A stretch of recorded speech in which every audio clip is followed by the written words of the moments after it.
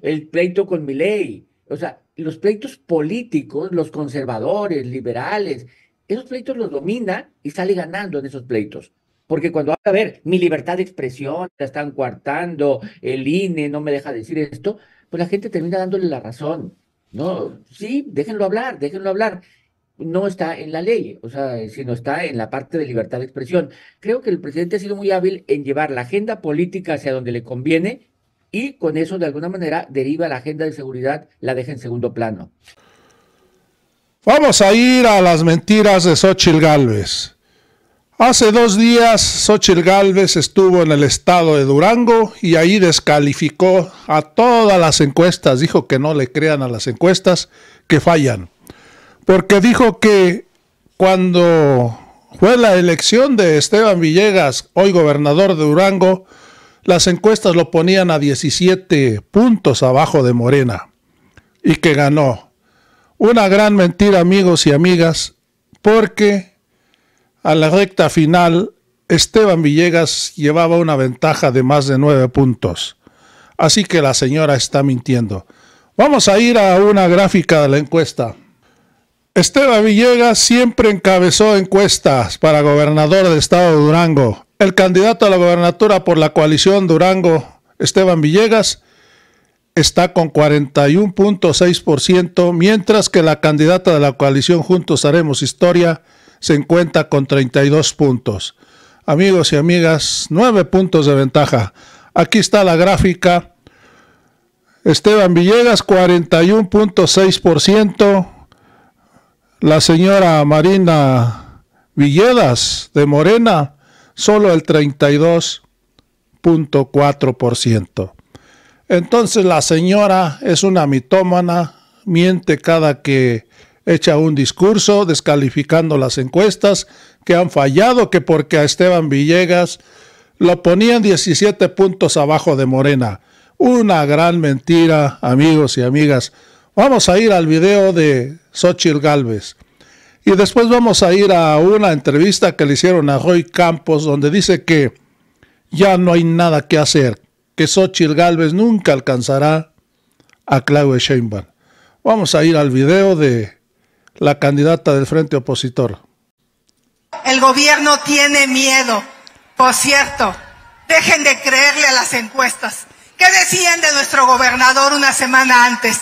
Que iba a perder por 17 puntos o 20 puntos abajo.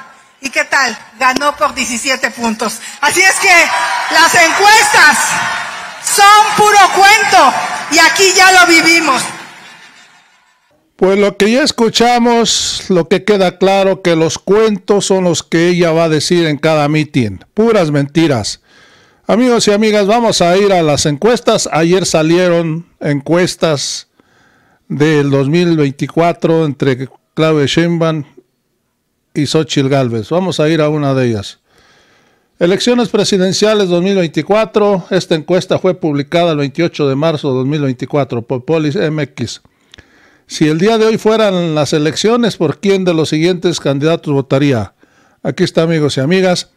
62% Claudia Sheinbaum, 34 puntos Xochitl Galvez una ventaja de 28 puntos, amigos y amigas, incansable.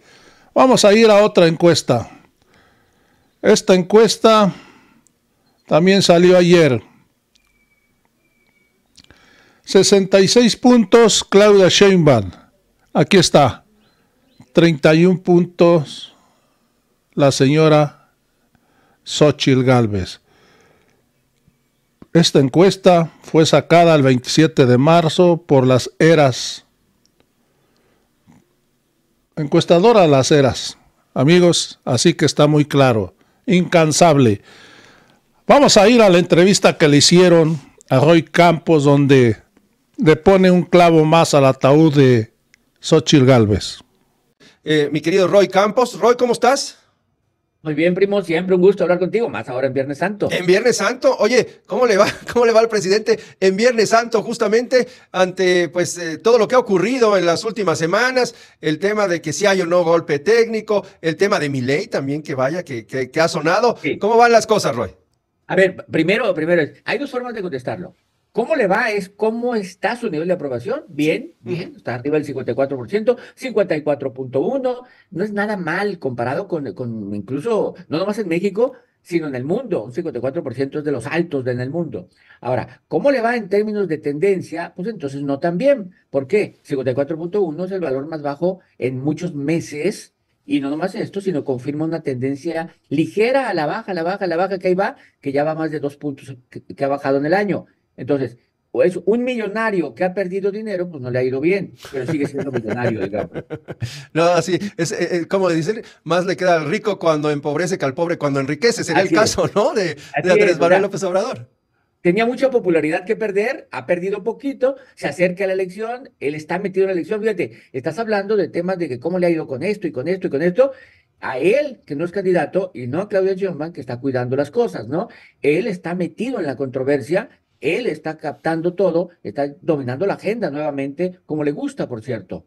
Eh, exacto, esos temas de la agenda siguen siendo positivos para el presidente. ¿Él está imponiendo la agenda o qué, qué está ocurriendo? ¿Por qué, ¿Por qué sigue blindado o le causan muy poco daño los embates que ha recibido?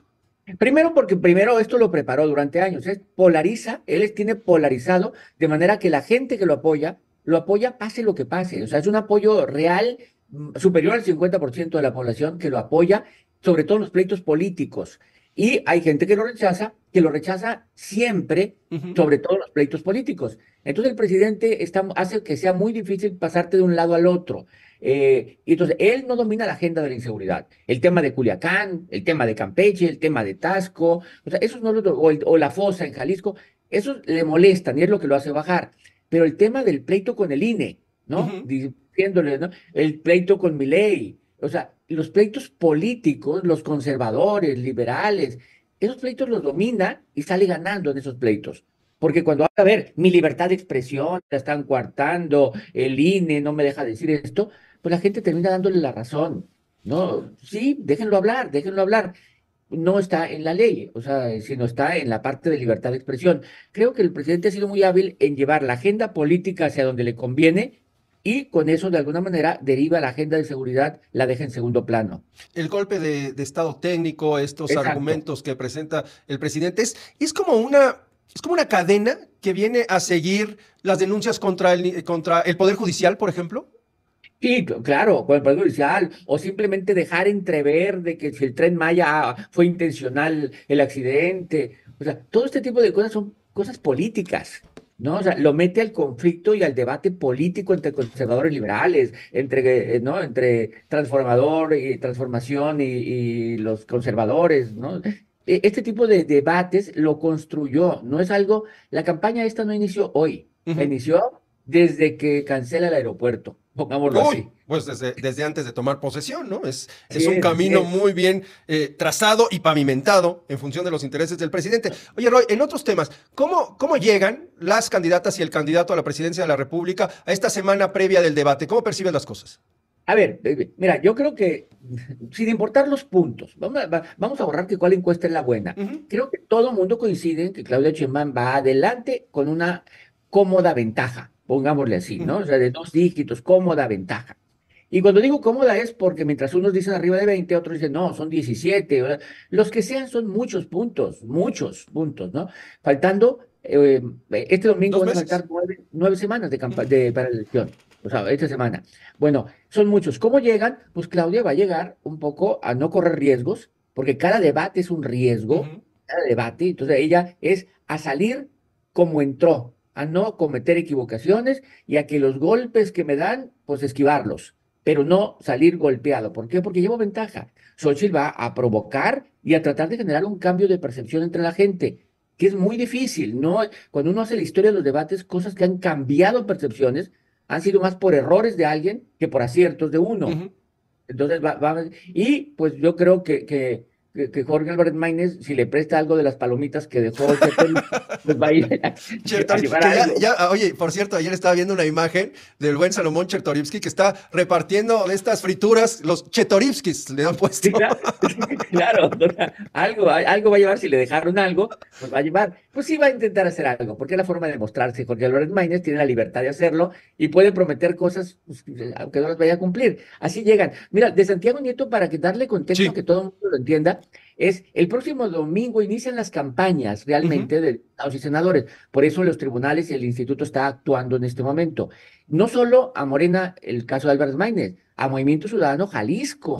Casi el único senador que era seguro, Esquer, que entraba, le, cambió la fórmula. Es decir, sí está eh, actuando. Y en el caso de Querétaro, para que entiendan, eh, cada partido postula, o cada coalición, a dos primero y segundo. si, ganas, si ganas el Estado, entran dos. Si pierdes el Estado, en segundo, en segundo lugar, uno. Entonces, ahí en, en eh, Querétaro, Morena, PT y Verde pusieron a Leti Robles en primer lugar, ella prácticamente senadora, y Santiago Nieto en segundo. Si Morena gana Querétaro, entra Santiago Nieto, pero por lo pronto compite. En cambio, igual eh, del otro lado, eh, Lupita Murguía entonces tenemos dos senadores seguros en Querétaro, Lupita Murguía y Leti Robles. Y van a pelear, en segundo lugar, eh, Agustín Dorantes o Santiago Nieto. Entonces sí está peleando Santiago Nieto. No, es que lo hayan tumbado seguro, senador, pero está peleándolo. Es muy interesante. Pero, pero sí, los tribunales y el INE, pues están haciendo su, su chamba. Ahora, también pues van a tribunales. El domingo inicia todo. El, domingo. El domingo se cumple un mes de la campaña presidencial e inician las de gobernador. Así es. Muy bien. vamos a, ver más movimiento político. Gracias, Roy. Pues así es, amigos y amigas. Parece que Roy Campos está desesperado y él quisiera decir otra cosa. Se ve que no le gusta que el presidente López Obrador lleve la agenda nacional y si se puede hasta internacional.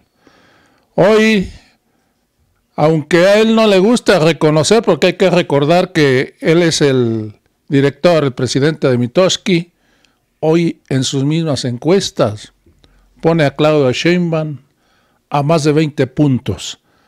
Ni modo, amigos y amigas, hoy los chayoteros lloran. Con esto me despido, ya sabes, suscríbete a este canal, deja tu comentario, es muy importante, y dale manita arriba y nos vemos en el próximo video.